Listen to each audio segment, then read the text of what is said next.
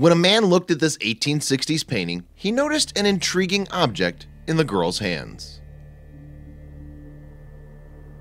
When Peter Russell paid a visit to Munich's new Pinakothek, he probably didn't expect to see what he did. Indeed, in one of the paintings on display at the German Museum was an object that seemed as if it shouldn't have been there. Why? Well, this artwork was from the mid-19th century, and one mysterious item depicted in it seems considerably more recent than that. Russell himself, meanwhile, hails from Glasgow, Scotland. At one point during his working life, he was a local government officer. Now, though, he's retired, and like many of us, Russell goes overseas from time to time. At one point in 2016, for instance, he spent some of his free time soaking up the culture in Munich. Indeed, while Russell was on his German vacation, he traveled to the New Pinakothek Museum, which houses 18th and 19th century European art. Among the paintings shown there, moreover, is a piece of Austrian artist Ferdinand George Waldmüller. This is thought to have been created in around 1860. In the artwork entitled The Expected One, a woman is depicted walking with her head down through the countryside. Meanwhile, a man awaits her on bended knee and with a rose in his hand. However, what's arguably most interesting about the painting is the object that the woman seems to be looking at. It certainly captured Russell's imagination anyway. Indeed, Russell noticed that the painting appears to defy all logic and reason, perhaps at first anyway. That's because the woman seems to be gazing down at something that couldn't have existed back in 1860, well, as far as anyone knows at least. In particular, it looked to Russell as if the woman in the painting is staring intently at a smartphone in her hands. Yeah, you heard that right. A 19th century woman with a smartphone. And that begs one rather crucial question. How did that item end up in Waldmüller's work anyway? Well, some explanations take us outside the realm of reality and straight into science fiction. Maybe time travelers do exist, but only use their incredible power to gift smartphones to artists. It would be a great way to prank everyone after all, as Russell's head-scratching discovery proves. Alternatively, perhaps the smartphone was actually invented generations ago but was kept hidden by a secret society until the time was right to unleash… no, that, that's an even bigger stretch than the time travel theory. And alas, the truth of the matter is much more mundane. Instead, the object is actually a religious book. That would probably have been more obvious to people around that time that Mueller was painting the expected one.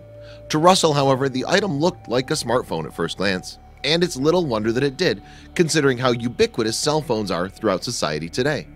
It's even less surprising that Russell jumped to that conclusion when you realize that if the painting was meant to depict the 21st century, very little about it would need to change. After all, pretty much everywhere you go, you can find people staring down at their smartphones while walking. And the similarities between the 19th century woman and her 21st century counterparts weren't lost on Russell.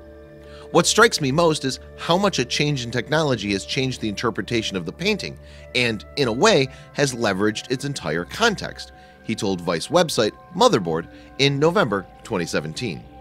The big change is that in 1850 or 1860, every single viewer would have identified the item that the girl is absorbed in as a hymnal or prayer book, Russell continued.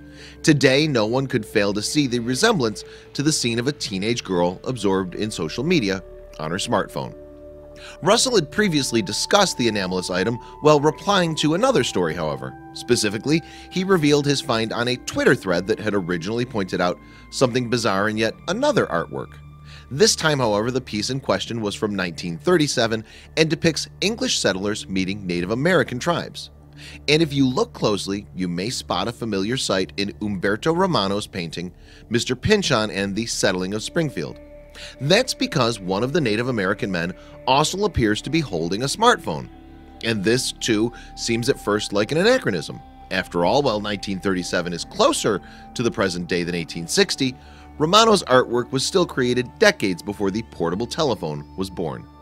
Further adding to the mystery around Mr. Pynchon and the settling of Springfield, there's no conclusive evidence either way as to the identity of the strange object.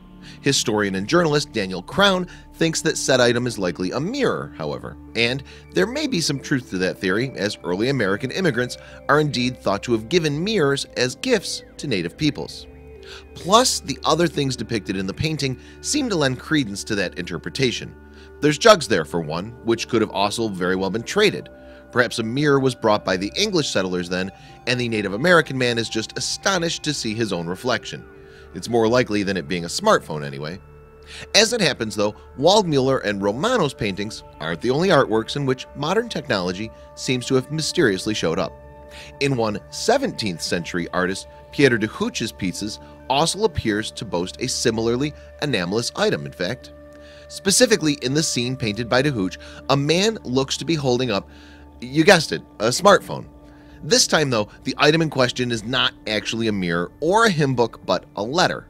We can safely assume that as the painting is titled Man Handing a Letter to a Woman in the Entrance Hall of a House. But the object's resemblance to a smartphone is so striking that Apple's Tim Cook even joked about it in 2016. Nevertheless, unless you really do believe that time travelers exist and are randomly giving iPhones to artists, the explanation for this phenomenon is pretty simple.